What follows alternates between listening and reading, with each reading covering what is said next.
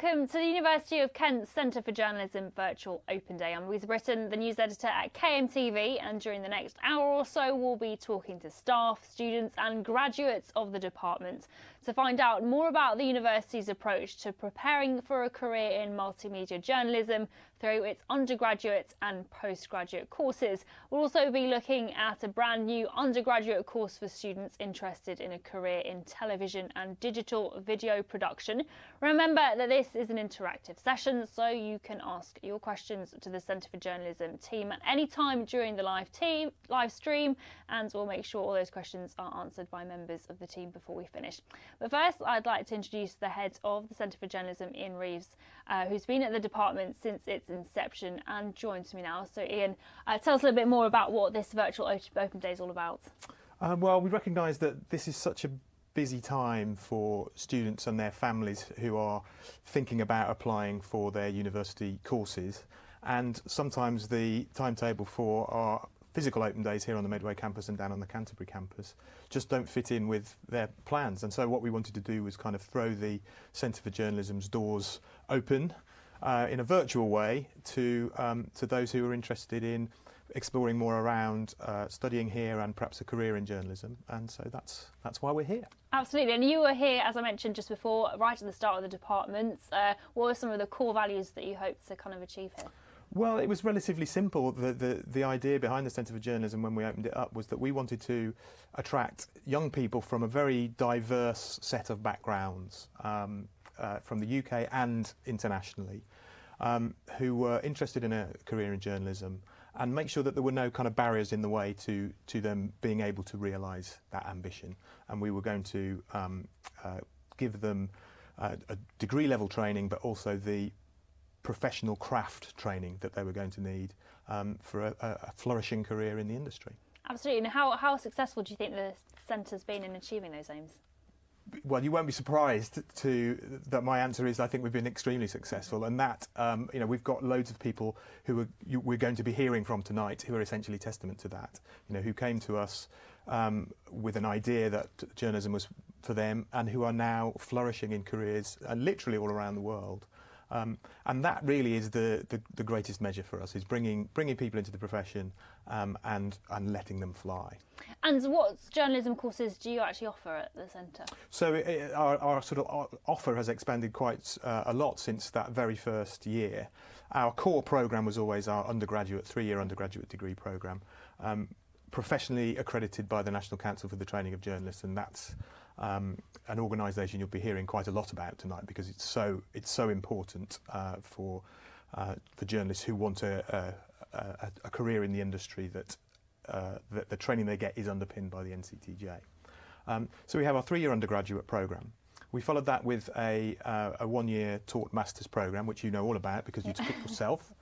Um, uh, we also have an international uh, uh, programme, which is uh, for students coming from around the world who um, have a who don't need that professional accreditation, uh, that UK professional mm. accreditation, um, but still want to benefit from the um, the very hands-on, practical vocational training that we give here. Um, we also now have a year in journalism program, so that's for uh, students from uh, other three-year degrees on the University of Kent who want to, uh, to add an extra year to get their professional uh, qualification. Um, and we have a number of joint honours programmes that run down on the Canterbury campus where they get a taster for journalism alongside their, um, their main degree. And then we're launching this new um, degree programme in uh, television and digital video production, uh, more of which we'll hear from uh, about later, which uh, starts in 2020 absolutely huge uh, array of, of programmes there. Thank you for that, Ian.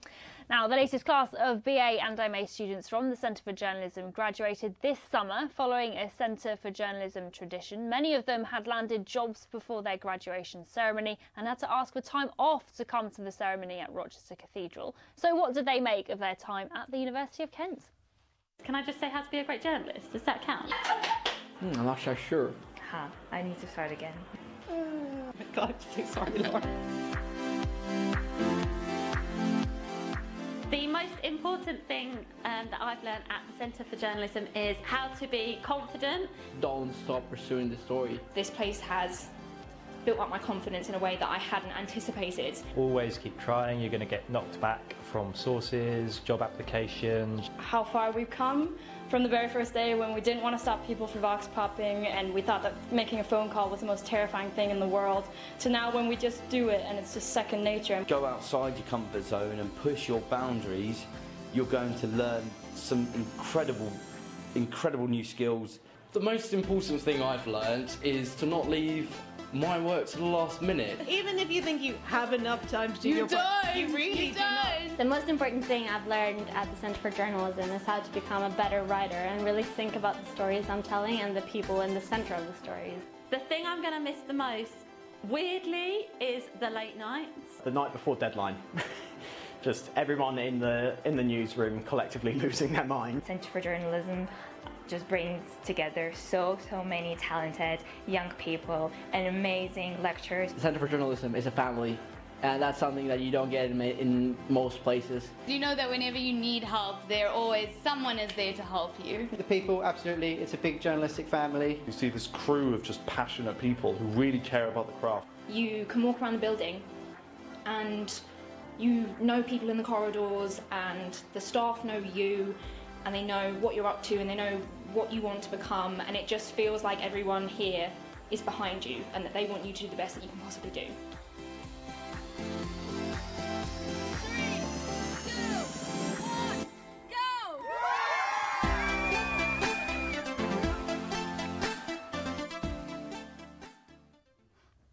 So if you're tuning in to this, you might already be a keen writer and storyteller. You might have a blog, write for a school newspaper, or make YouTube videos about your hobbies and interests. And I'm joined by Director of Education Rob Bailey and 2019 Centre for Journalism graduates Emma Ray Woodhouse and Brad Harper to talk more about how the centre can turn your passion into a writer in, into a career, I suppose. Um, thanks very much, all three of you, for joining us. Rob, tell us a little bit more about how uh, important it is to be a storyteller in this industry. Yeah, absolutely. I mean, the kind of person we're looking for, the kind of person we're hoping is tuning in tonight, is a curious person, um, I suppose, in every sense of the word. But they have some kind of passion, some kind of interest, whether that's in politics or whether that's in music or sport or fashion or, or, whatever.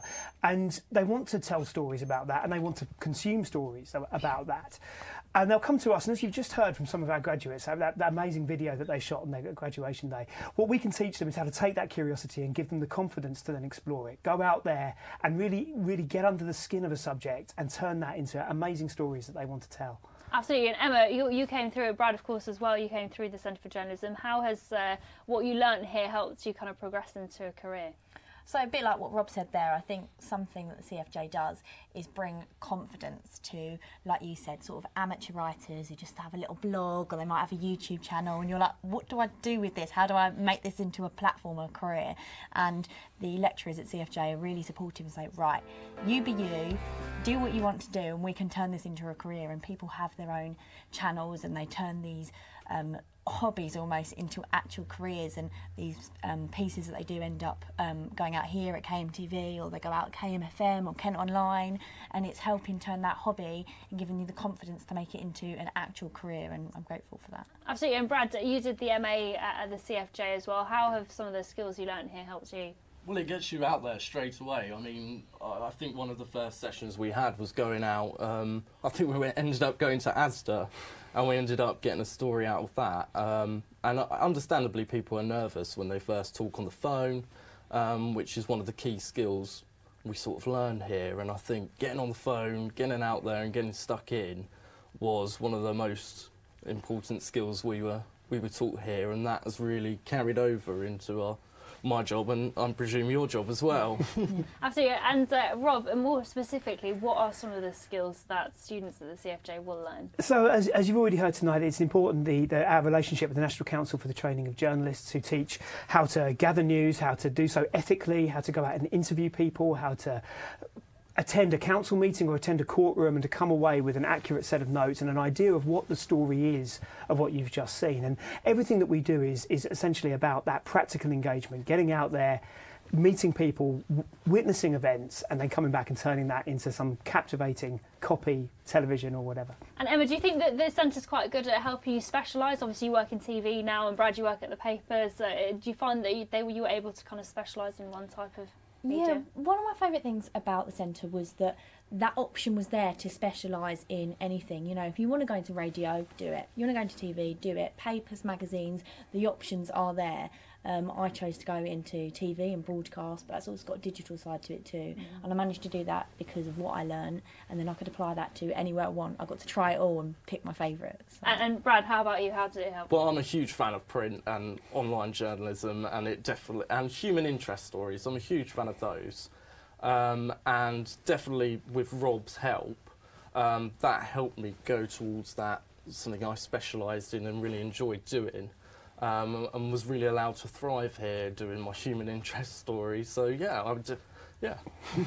Absolutely. Well, it sounds like we've had a nice insight into how the CFJ's helped you with those journalism skills as well. Thank you all three for joining us.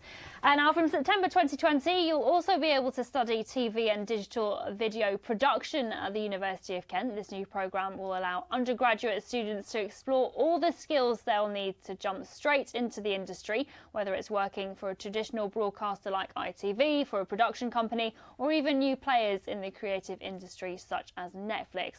To learn a bit more about what you can expect, we can cross live now to the Centre for Journalism's newsrooms, which is where a lot of the department's teaching takes place. Keelan Webster's there for us now. So, Keelan. Yeah, evening to you, Louisa. Thanks very much indeed. Uh, pleased to say that I'm joined by the television production lecturer, Laura Garcia, as well as Oliver Kemp, who took part in the module. Um, thanks very much to both of you. Laura, I'll come to you first. Just tell us a bit more about what people can expect watching at home today from the module. So, from the module and from the new degree that we're going to be teaching as of September next year, you can expect to get a whole range of skills. TV production has all these different layers from handling cameras, editing video, organizing budgets, organizing locations, logistics, actors, casting. Um, your graphics and the idea of the module and the TV deg- production degree is that you'll get a taste of all of it to figure out what it is that you really like and so that if when you go into the industry you can kind of navigate everywhere and find your own way and your own specialism And Ollie, just give us an insight into how television production has, has helped you and, and helped your job so far. Um, well, I think one of the biggest things I learned from it was collaboration because we sat down with Laura on the first day, and it's like, right, you're going to make a TV show now, and that's that's a big deal. You're thinking, well, how am I going to make this look like it's unique for a start? So it's about uh, thinking about who you're going to work with, how's the show going to look, what sort of colours am I going to use, um, and Laura used the expression cat herding, and maybe because she loves cats, but it's a, it's it, in, in all seriousness, well, yeah, in all seriousness, it's difficult to try and bring all those elements together and make sure everyone's going to be there on the right day. Um, and I think just having the pressure of having to get that done really pushed me to, to create that project. And Laura, obviously, one of the exciting things about uh, next year is going to be the new degree, which is coming in. Give us an insight into what sort of things you'll be teaching during that. So obviously, because we have three years instead of a, a year, you have way more time to go into specific advanced tricks of lighting, editing, a lot more on the ethics and the law of what it takes to produce a TV show. So there's a lot involved in pitching something to, for example, Channel 4 or ITV, and we're going to go through those steps in a very practical way, um, embedded also with work experience in different places. And the idea, again, is to is to learn by doing this kind of stuff is like riding a bike. I can explain to you 50 billion times how much work it's going to take you to get three guests in a studio. But until you do it and they stop answering to your emails and then they don't text you back and then you don't know if they're on their train and you have to make sure that they're there and you have to fight with the graphic designers to make sure they get stuff there on time and then your edit crashes halfway through. You don't learn it until you do it. And that's kind of the whole point of the new degree. And Ollie, you were just mentioning a, a moment ago about, the, I suppose, the excitement, but kind of fear almost about putting that the, the whole show together. But that must give you, it must be exciting, as I, as I mentioned, to have that freedom to put a, a show together and almost model it yourself. Yeah, completely. Because I think a lot of what we do here at CFJ is learning the, uh, understanding the building blocks of news and how news looks. And actually, with, with the TV production module, I was able to kind of go outside the standard TV news look and think, actually, how would I want to make a show look? And that gave me a lot of freedom, the freedom that you wouldn't necessarily have before. So, thinking about the music, the graphics, thinking about the guests and how you might approach the guests, uh, all those things that now I feel like I can approach people in my real job and, uh, and, I, and I know how to approach them and know how to create a product. And you took part in the Masters last year. What was the best thing that you got out of that, you would say?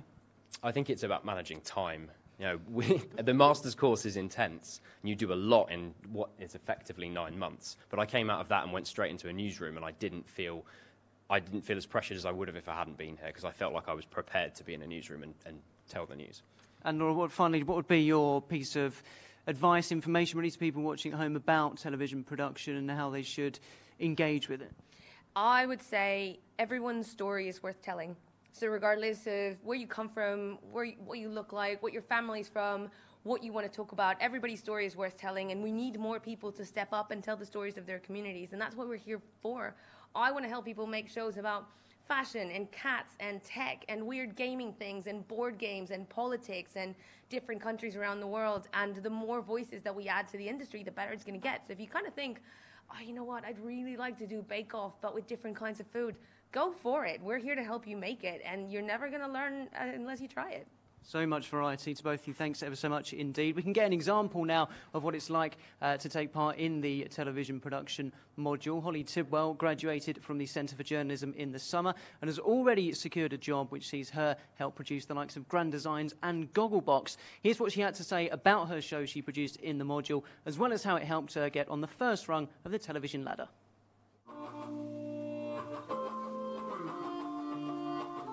Hi, I'm Holly Tidwell. I graduated from the University of Kent in 2019 and now I work at Envy Post Production. Sometimes hard drives come in for like Gogglebox, Bake Off, Grand Designs. I log them into our system and I take them wherever they need to go. I pretty much just help with what anything anyone needs. For my final year project, I created a TV show called Art Fuse, and my goal for it was to create a structured TV, almost newsy show like a chat show, but I wanted it to contain elements in a show that never existed before. So it really focused on the importance of art education, but in a really entertaining and humorous way. Hulk smash! Look at that. Look at this. Look at this. Can you believe this? They're not quite done yet, and I can't wait to see what they come up with tomorrow. To get into television, I'd say you need two things. Perseverance is one. You need to annoy people, prove you have the right to be there, show people you want to be there so they'll hire you. And the second thing is practice. You need to know what you're doing, you need to know the technical terms, you need to know what to do with the cameras, what to do with the hard drives. So you need to study it and understand how it works, otherwise people won't want to hire you because you have no experience.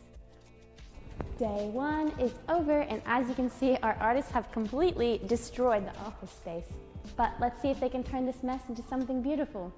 Making TV, you meet a lot of different people, from talented actors to people who sit behind computers all day editing to people who are willing to stand 100 feet in the air to film something. So it's a big, wide net of people, and you're all together trying to make this one thing. When my TV show came together, I felt very proud of myself. I felt prepared, like I could leave university, go into the real world, and make something just like the same as that. I could actually do it, and now I'm doing it.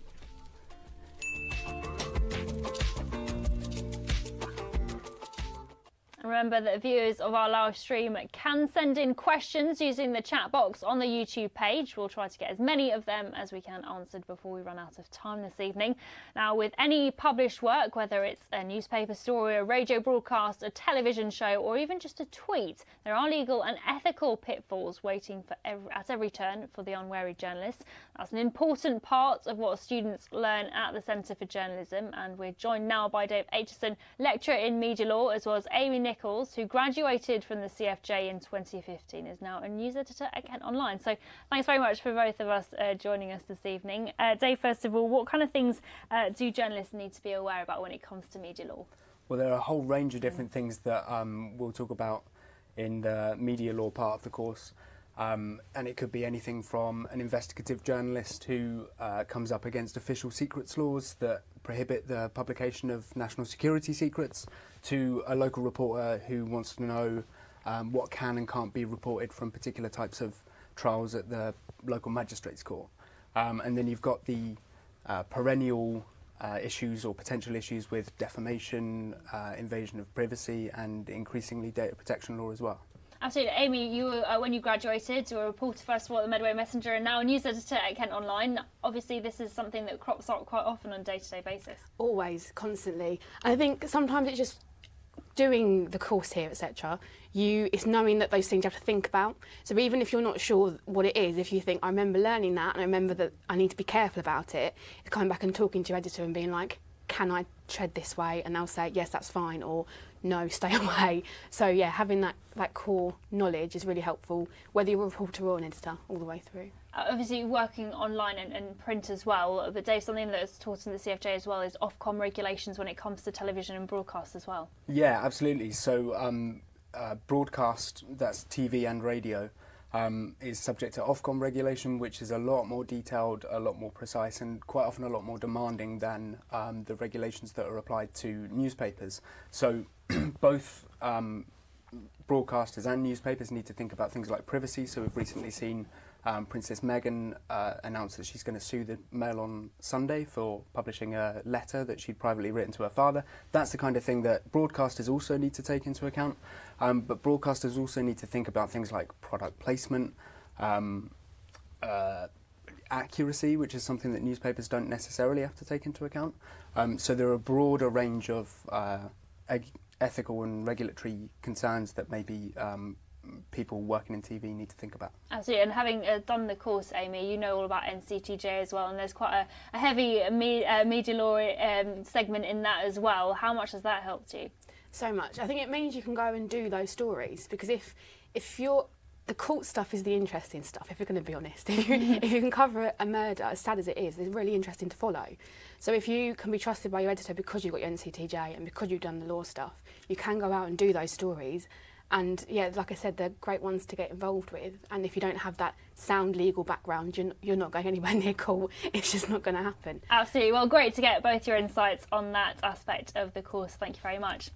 Now, Centre for Journalism students have a habit of getting jobs straight after graduating. One of those is Brad Gray, who has been working for Essex Live since he left university this summer. Here's his story.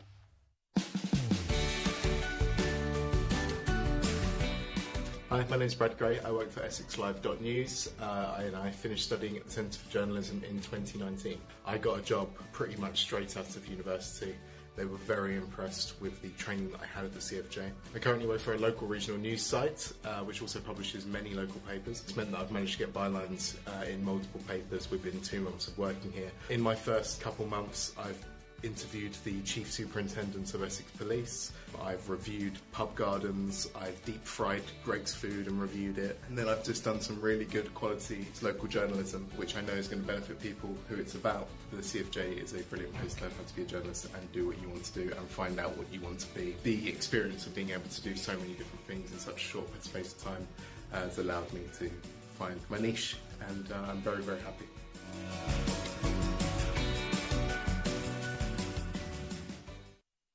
And now we're going to go back to Keelan in the newsroom to talk about some of the fascinating projects that students can create as part of their studies. So, Keelan.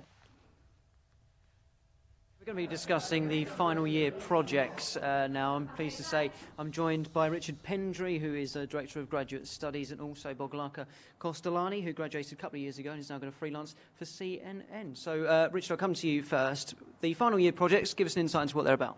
Okay, so the final year projects are for the undergraduate students, and basically it's their chance to show off all the stuff that we've taught them. So they can do TV, radio, print, or online, but they're kind of big projects. So it's like they start in September and then they give it to us in April. Uh, they're like a kind of people. People do 15 minute TV program, half an hour TV program, half an hour radio program. So they're kind of long form journalism. And basically, it's a chance to do some proper journalism over a period of months where you get a chance to spend time with your characters, you know, the people in interesting situation, in in you know, follow them in their, in their lives, for example. That's what a lot of people do. And Boglarka, you were one of the people that uh, undertook the third year project. Tell us what it was about. Um, so my project was an interactive multimedia piece, and it looked at the rise of populism in Hungary through Holocaust survivors' eyes. And uh, basically, it used like various elements like words, stills, um, video, 360 video, infographics, and um, I basically spent six months talking to Holocaust survivors, and then um, yeah, and then I created my piece um, with the help of my teachers. And just tell us about that. How did the staff help you when it came to putting the uh, project together?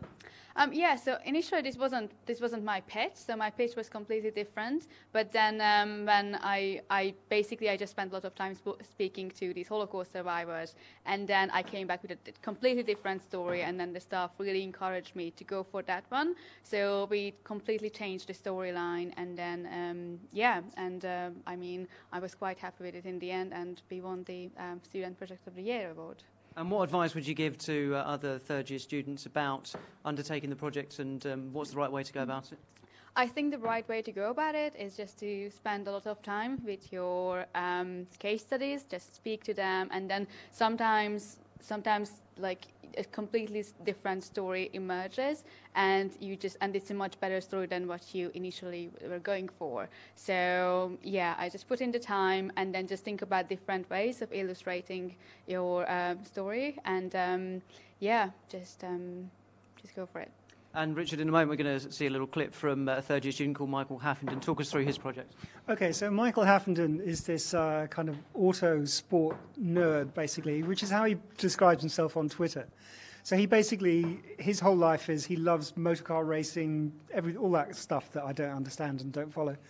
Um, but he basically he did this TV film, which is a documentary that I would have been really proud to have made myself. And that, there are loads of things in it which I did not teach him, but he just did this fantastic piece of work which follows a group of uh, servicemen, ex-servicemen who've been injured, typically in Iraq or Afghanistan, um, and they've got they've what part of their rehabilitation is that they have a motor racing team. So he just basically follows them in their lives and as they go through tournaments, and it's an amazing piece of work.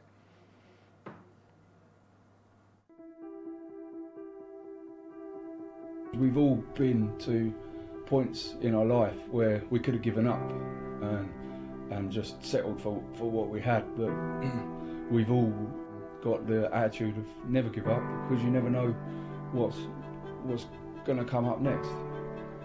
It's more than just driving now, it's more than just getting to the finishing line first. There's, there's a bigger thing happening at Team BRIT laying in bed in Queen Elizabeth Hospital with both legs missing, I never would have thought I'd have been doing anything like this. Your, your life's on the edge pretty much. Whether you're out on patrol or you're in the car, it's, it's still going to hurt if, you, if it goes wrong. So it's what you live for, it's what I, what I love.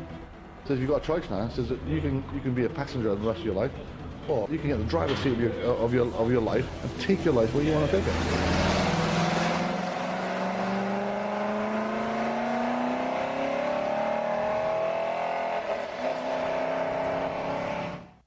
Now Ian is back with me along with second year undergraduate journalism student Adam Broderick to talk more about the admissions process. This is something that lots of students I'm sure will be very intrigued to hear a bit more about that uh, about this uh, this evening. So Adam, what was the process for you getting on the course like? Well, I just applied from UK, on the UCAS Mhm. website from my uh, grammar school boarding, and uh, I came here, had a look around. I thought this is a really nice place, a very friendly staff, so I thought I'd apply.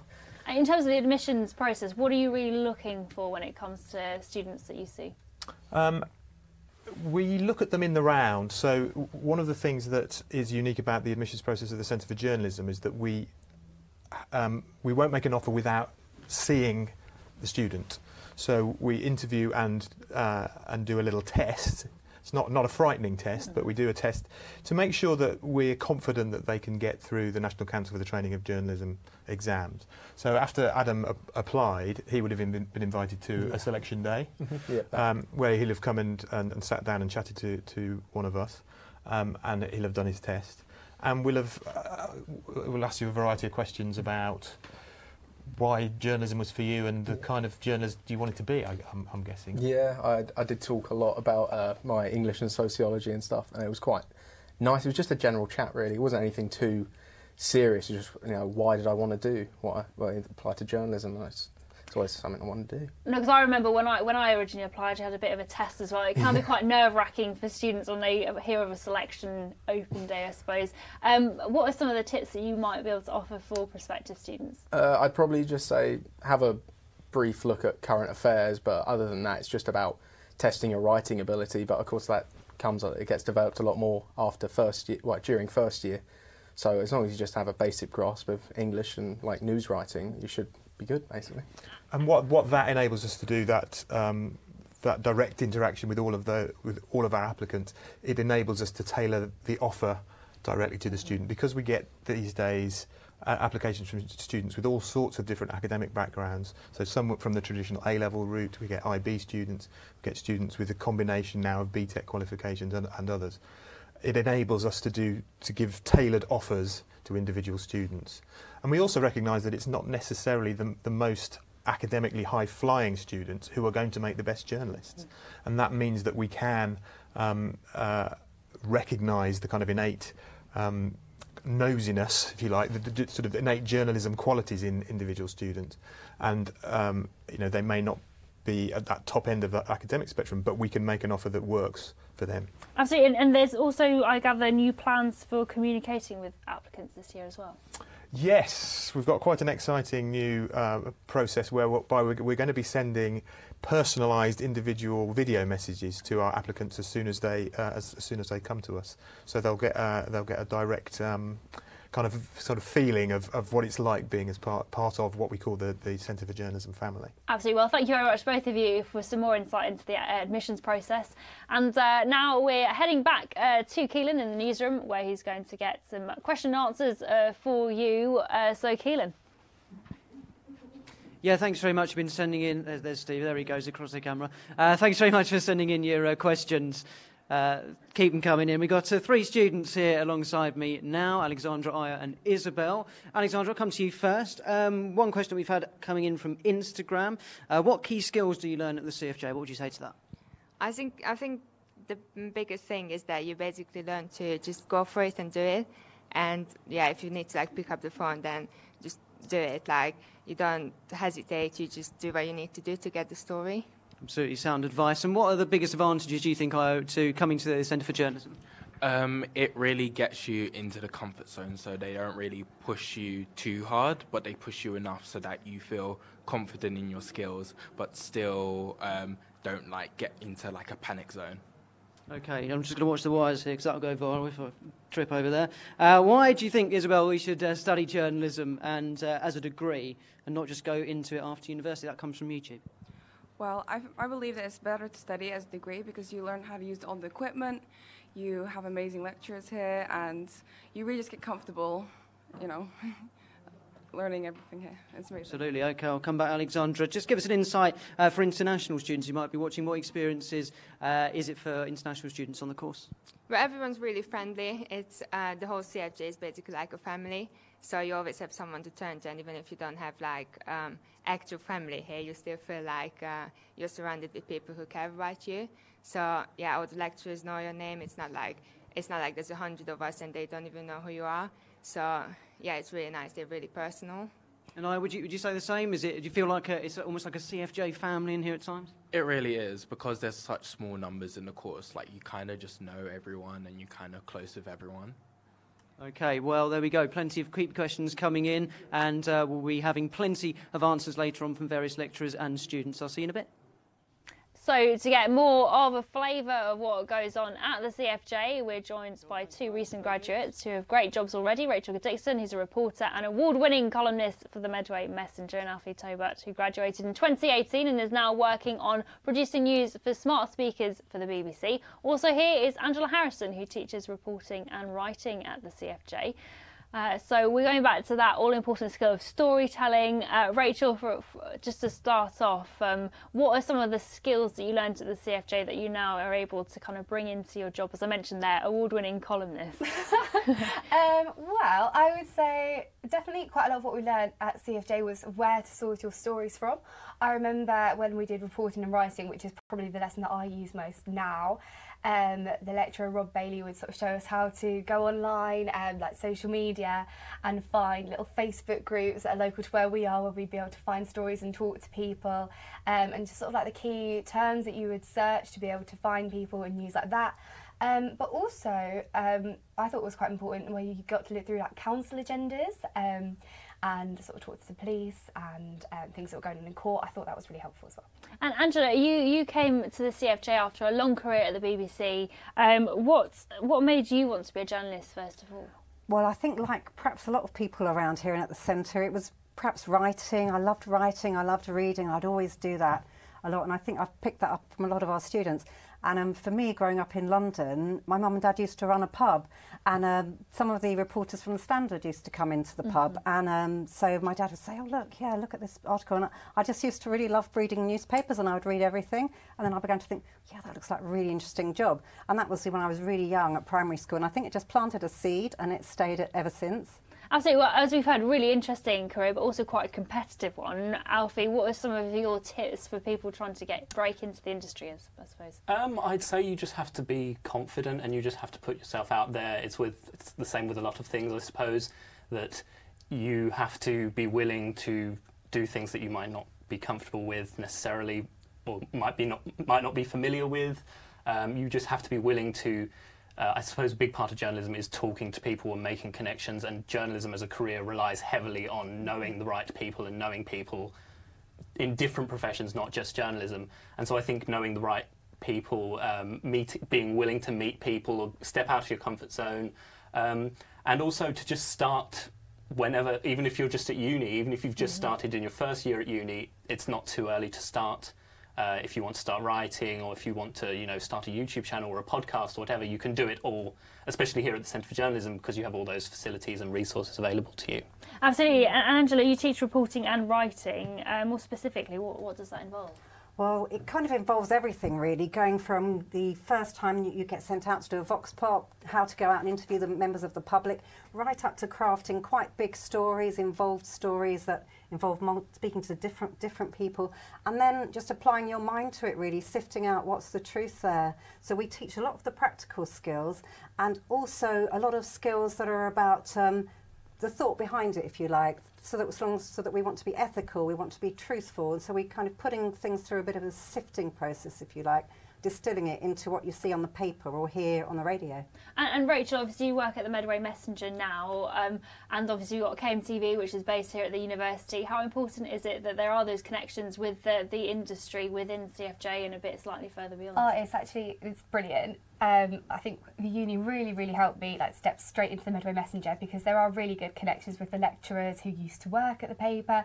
Um, here at KMTV, everyone is really close. I call you guys, as you know, every day. um, and then it, that's also really good because we can have written stories, but we can put video in, audio. It's great. And then I also still get to practice um, like taking video and audio when my like primary role is to write. So it's great. Absolutely, and, and Alfie as well. Some of those um, multimedia skills, I'm sure they come in very handy as well. Yeah, absolutely. I think um, that's one of the things that sets this course or this centre apart from other courses is the fact that you do radio, TV, print, and online. You get to specialise in everything. So when you step out into the workplace after you graduate, you can say, right, well, what do I want to do really? Because I have so many options here, um, and I now work in what's essentially radio or audio.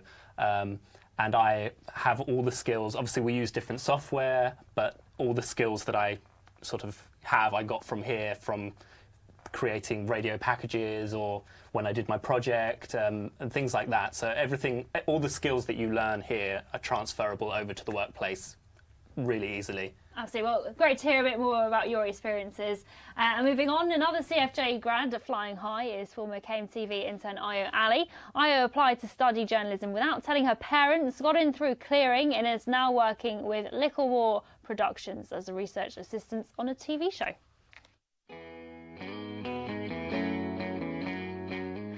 Hi, my name's Ayo. I've just graduated from the Centre for Journalism in 2019. I haven't always wanted to be a journalist. I came in through clearing and my mum wanted me to be a lawyer. I applied for journalism behind her back and then when I got accepted to come for an interview, then I told her that, oh mum, there's this journalism thing that I could do, you know. I've always loved the art of like telling my story or someone else's story. Especially coming from my background, I don't see a lot of my stories being told. So I'm definitely passionate about bringing a lot of BAME and black stories to the limelight and being kind of um, representation as well is kind of very important to me. So I always knew that when whatever I did, I had to represent properly. For the past year, I've just been working at KMTV and learning how to build my confidence. One of the first things I learned about my internship at KMTV was the interview process. I've just learned how to kind of talk to people in the newsroom, say I'm ready to help, tell me what to do, or also give um, ideas on what I can do as well.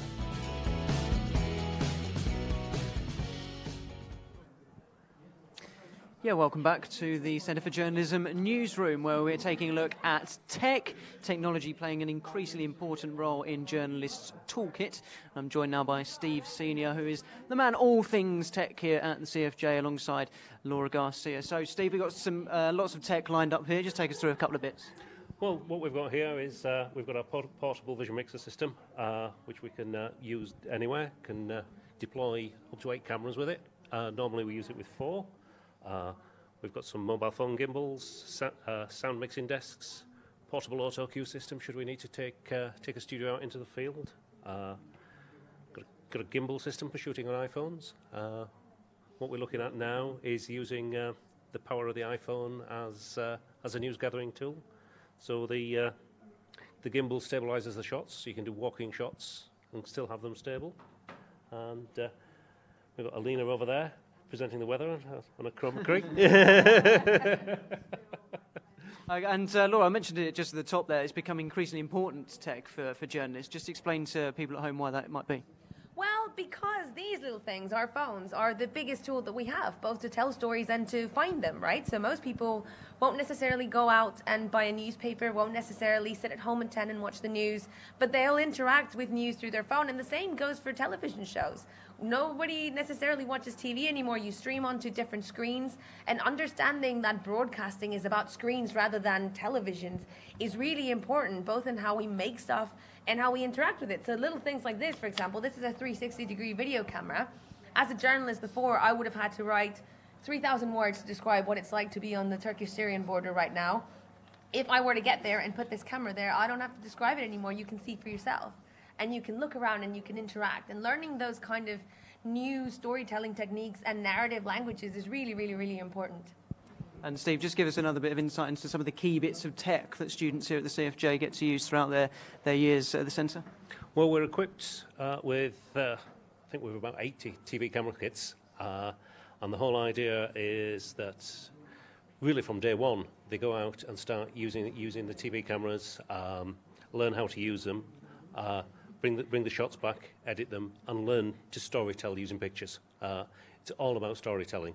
Um, and over, over, over, over a period of time, they practice with them. We encourage them to use them. I mean, if, if, if it's grandma's 80th birthday, well, go and, shoot, go and shoot grandma's 80th birthday. Come back, edit the pictures. The more you use the kit, the better you get with it. And the better you get with it, the better your final year project is. Uh, I'm always there for help. I'm always there for advice. If you're not sure about anything, you know, we encourage everybody to come and ask, come and talk to us. Uh, you know, it's overwhelming for some people. You know, the, the, the, suddenly having thousands of pounds worth of tech put in front of you and say, there you go, go make a story with that. Well, you know, ask, learn, uh, use it, practice. Uh, you know, there are guys that work with, with uh, the local football club that uh, go out, shoot the matches, uh, which they use after, afterwards for the, not only the social media, but for analysis of the match as well. So, uh, you know, there's a lot we can play with. We've uh, two fully equipped radio studios. Uh, so, again, one of the things we do is uh, teach um, radio news and radio news bulletins and how to operate uh, how, to operate a radio news studio, uh, which not only for the radio news but multimedia projects. You might want to, you might want to do a phone interview with somebody. So you sit in the radio studio, ring someone up, record an interview. Then once you've got that audio, transcribe it, use use it as part of your multimedia project. And with a with a whole series, well, toys really, for news going. And um, Laura, a minute, a minute ago, you mentioned about the importance of the of the iPhone as a news gathering tool. Sort of coming up into this world now, where people coming into the centre have been growing up with social media. How much of an important tool is that? Well, it's the one thing that young people have going into the industry, right? When you're competing for a job with someone who's been in the industry 20 years and has all the experience in the world, what you've got going for you is that people assume that you're digitally native, that you understand Twitter, that you understand Instagram, and more importantly, that you are going to be able to adapt to whatever comes afterwards. That you will have those digital skills to migrate. Like uh, we all remember, um, like I don't know, I used to use ICQ as a messaging service when it started, but because I knew that, I could move on to the next technology and I could understand WhatsApp. And that bit of storytelling and understanding that it's a different language and that it's not something to look down on. Telling stories in Instagram in 10 seconds per frame is actually really hard. Telling a story and condensing a tweet into 240 characters is actually really hard and it's a practice thing. And like Steve was saying, whether it's your granny's 80th or an actual project, you learn by messing up. Sometimes I remember the first time I went to an interview and I didn't plug the microphone right. I thought I'd done everything perfect, went back to edit, and my video had no sound. I have never forgotten to turn on a microphone ever again in my life. And mm-hmm. sometimes those mistakes, you need to make them. And making them here at university where you can ask for advice, where your job isn't on the line, is really important because you take those skills with you forward. Yeah, absolutely. And if you do have any questions for Steve or Laura about any of these little, little bits of tech, then don't hesitate to get involved and we'll answer those a little bit later on. Louisa, all yours. Now, on top of learning how to tell powerful stories through journalism or television, the Centre for Journalism is also a great place to do research. We're joined now by the CFJ's Director of Research, Dr. Ben Cocking, and Laura Trussell, who's writing a PhD on political communications and journalism. Thank you both of you for joining us this evening. Ben, first of all, um, learning how to do academic research is, is really important for anyone uh, doing a university degree. How important is it? I mean, I think I think it's a very important um, set of skills that students gain through through doing research. We've heard quite a lot this evening so far about how students on our degree courses mm. encounter a lot of sort of practical skills that help them in the in the industry of, of journalism. Um, but alongside that, we also teach them quite a lot about the relationship between journalism and politics, um, journalism and history. So they learn a lot about how the media industries in this country have evolved and changed over time. And I think introducing research to our students helps them see that, that journalism, like many other academic subjects, is, is very dynamic, it's ever changing, and there are lots of very fascinating areas that they can go on to explore. So our undergraduates and our master students get the opportunity to do a dissertation with us, and that gives them an opportunity to really sort of delve into an area of journalism that they're very interested in. Um, and in doing that, they get a lot of skills that are very useful for them in a number of um, uh, forms of employment when they when they graduate. So they learn how to do a lot of independent work, a lot of investigative skills. They learn how to to find out elements of the, of the research that they're trying to explore, um, as well as things like time management um, and sort of planning and structuring um, their, their work and so on. So it gives them a really good range of skills. Absolutely. And Laura, you did the MA first of all, now you're uh, working on your PhD. Tell us a little bit more about that. Yeah, well, I enjoyed the dissertation bit so much that I decided to carry it on. And I'm looking at newspapers in the 2017 campaign and how Theresa May and Jeremy Corbyn presented and the ways in which they were maybe positively or negatively portrayed in the newspapers. And what are some of the skills that you've learned through doing this academic research that potentially could be applicable in the field but also further furthering your career? Definitely time management. Mm. so balancing like work as well as the research itself, um, how to write in an engaging way as well. Um, more academically literature reviews and stuff like that. So referencing um, project management and also looking at how a newspaper is structured as well. So what are lead stories and front page stories and where they appear in the newspaper and how important that is to the audience as well. Absolutely. And Ben, what sort of um, support is there for people wanting to do more research when it comes to the University of Kent and CFJ? Um, well, th there's a lot of support that we give give our students who, who are do, doing research. I mean, as part of doing their dissertations, they they're allocated a, a supervisor who uh, works with them on a one-to-one -one basis through throughout the whole year, um, so that they have a, usually kind of weekly um, meetings with, with, with, with their supervisors that enable them really to, to kind of keep their projects on, on track. Um, the, the university is very well resourced in terms of you know library facilities um, and a lot of the, the kind of research training skills that students might might need as, as well. Um, so there's, there's lots of outside of the, the Centre for Journalism across the university more widely. There's there's lots of areas of support that students can draw on too. Absolutely, well, fantastic to hear a bit more about the other side of, of the work that's being done at the CFJ. Thank you both for joining us.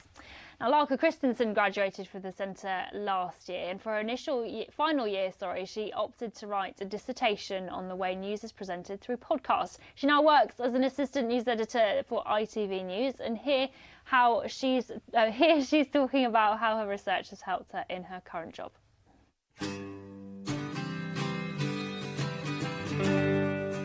Hello, my name is Laerke Christensen and I graduated from the CFJ in July 2019.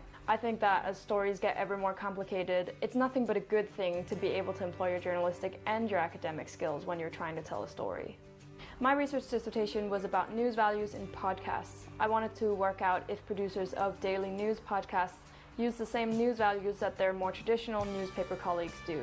By doing a research dissertation, I think I learned that I can write things that are longer than a tweet or longer than an article, and I still do have the skills that it takes to sort of really dig into a topic and really understand it. After graduating, I've started work at ITV News in London and the Embassy of Denmark in the UK. These are two very different jobs, but that's actually kind of great because I feel like I get to use both sides of the skills that I learned at the CFJ.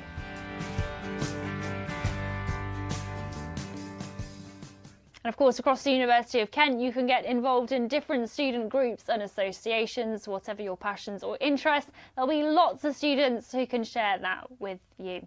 Now, if you want to tell stories on television, then KTV, the university's student run television station, is just for you. Well, back in the newsroom, uh, Keelan's joined by Ayomikam Adikayero, uh, who's part of KTV's Medway chapter. Tell us a bit more about KTV. Yes, I'm joined by Io and Alina, both uh, who are involved in the Medway side of KTV. Just give us a bit more of an insight first, Io, as to what KTV is all about. KTV is a student television society which um, imitates a TV station, so we come up with our own shows to publish on Facebook and YouTube. And Alina, give us an insight into some of the shows that you do. So we do everything from entertainment to sports to even more serious subjects. And last year we even had a fashion show going on. This year we're trying to get the community more involved, especially the students and the lecturers. So we started with 73 questions by Vogue, but in a CFJ kind of style. So anything that will entertain the students and the teachers will do it. And uh, talk to us a bit about Medway and the Medway side of KTV. Um, so the Medway side, we have our own branch. So we have a committee which is like the uh, one in Canterbury, and we kind of have people in roles for entertainment, sports, and news. Um, we can also collaborate sometimes with Canterbury, um, but mostly we have our own shows here. And Alina, what would you say to people about encouraging them to get involved with KTV? Well, first of all, if you want to study journalism, you should probably get involved because it gives you a great insight into what journalism is like, what is filming like, meeting people, going out there and really trying to put as much as you, of your effort as you can. And uh, also, it's just great fun and it's a great community, and you'll always have something to do and meet new people and just enjoy yourself here. And how can people get involved with KTV? Well, you can like us on Facebook on KTV Medway.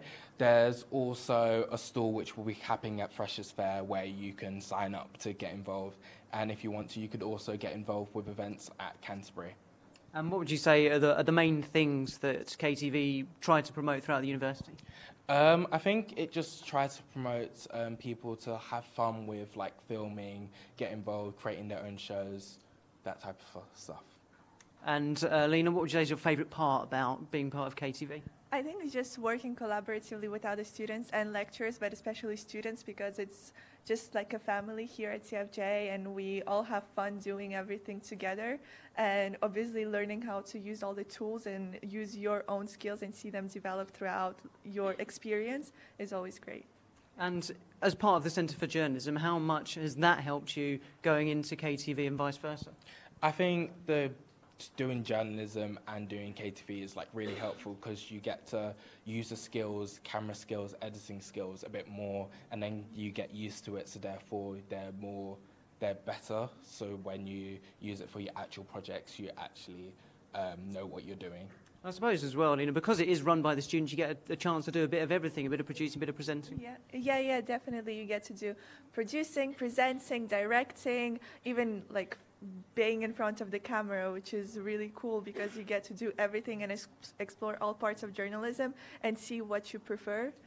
And just finally, just give us, I suppose, a, a bit of a feeling as to how the lecturers can help you and how they promote KTV and encourage you to take part in it? Well, the lecturers are really helpful. They let us use all like the equipment, especially Steve, um, and then they also give us tips when it comes to certain like events. Like I remember when we were doing a video for a music show last year, Steve like gave us a lot of tips to do with how to set it up. So they're really helpful in that respect.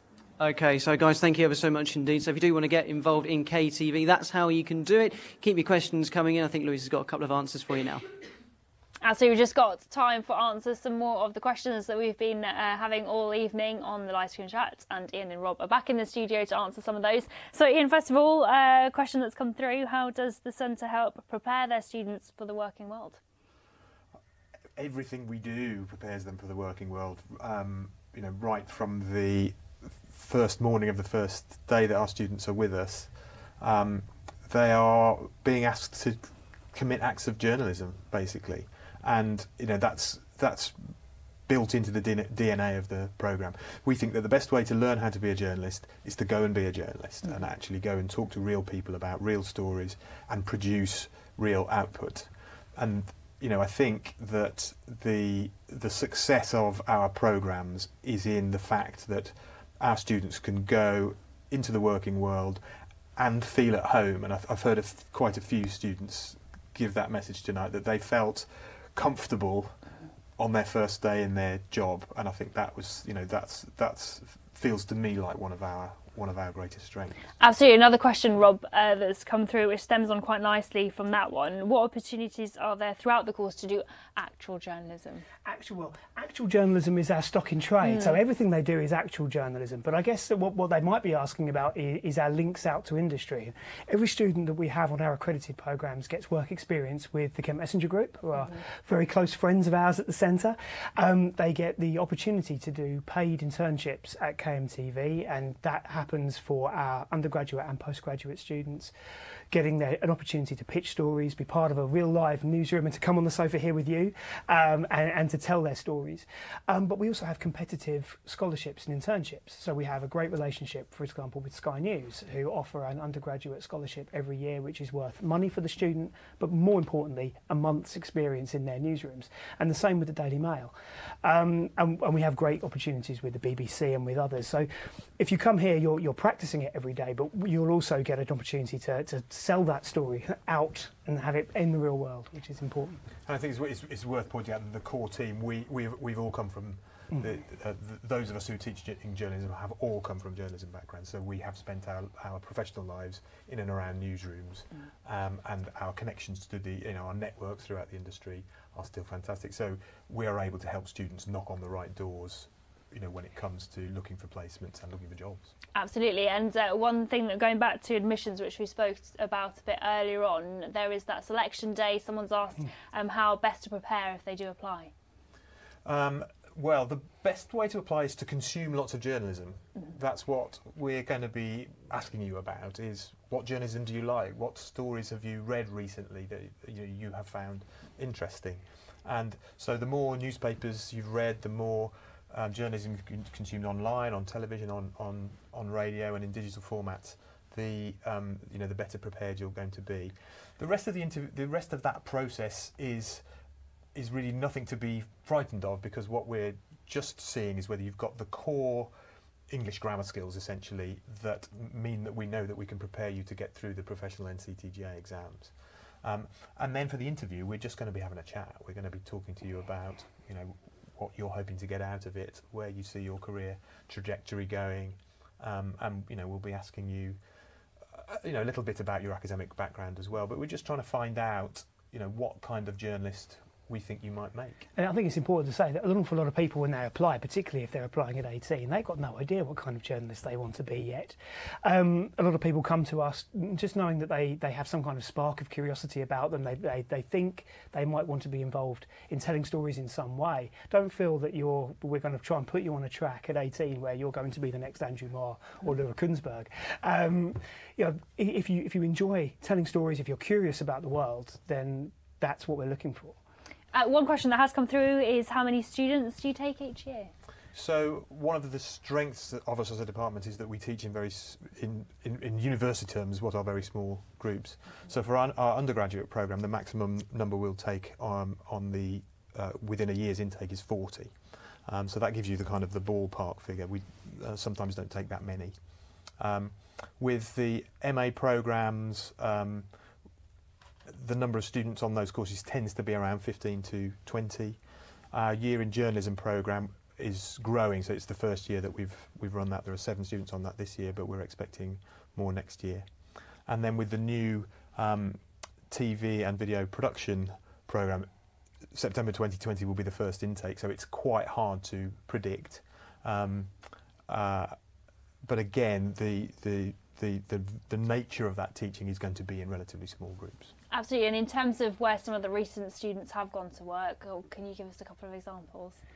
So, I mean, we've got graduates from 2019 already working at the Daily Mail, obviously at the Kent Messenger Group, at the BBC, at um, Sky News. Sky News, um, where they're doing freelancing for for uh, websites that cover travel and leisure. We've got someone at the Daily Express covering the celebrity beat, um, and these are people who have graduated within the last few months. Um, the, Yeah. the wider network is literally everywhere. ever expanding Mm. CFJ network of um, of our students who are out there in, in newsrooms all around the world, and that's one of the you know that is one of the nice things about the Centre for Journalism family is it, it really does extend globally now.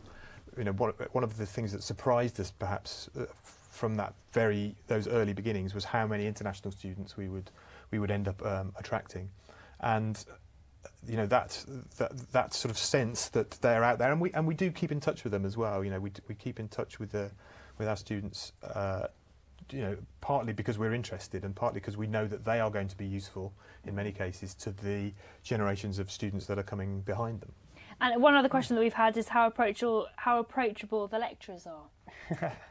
or we would say we're friendly. I. I mean, hopefully, what, what you're getting a sense of tonight is is what makes the centre special is that we're a family and we have small groups, partly out of design because we want to know all of our students personally, one to one. We want to understand what their strengths are, what they want to achieve, and we want to help them do it. And we have this fantastic open door policy at the centre where our students come to us to talk about not only the work that we're setting them, but also just the things that they enjoy, the things that they want to achieve in their careers, or just what happened in the news over the weekend because they just fancy a chat. And and that's what makes this such a special place. I have to say to work, but also to study.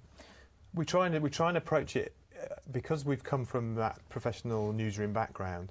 We try to approach the relationship between us and the students as kind of editor-reporter relationships.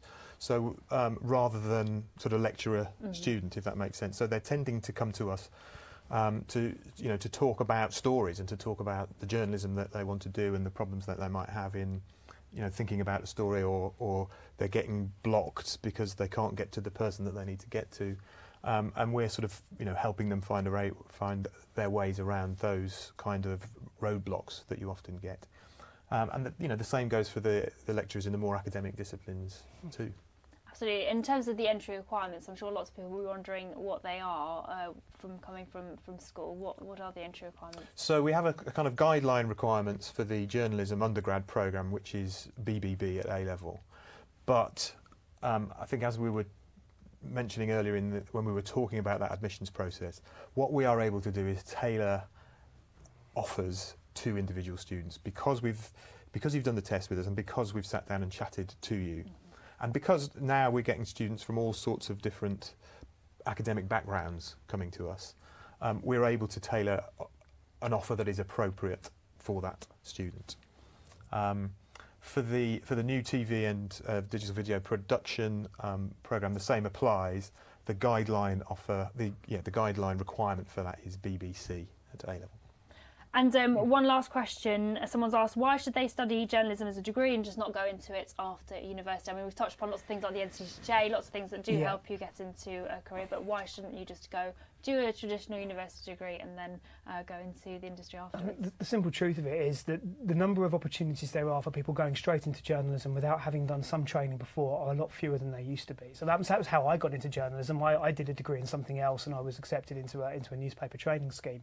But more often than not these days, employers want you to have a degree and they want you to have an NCTJ qualification before they take you on.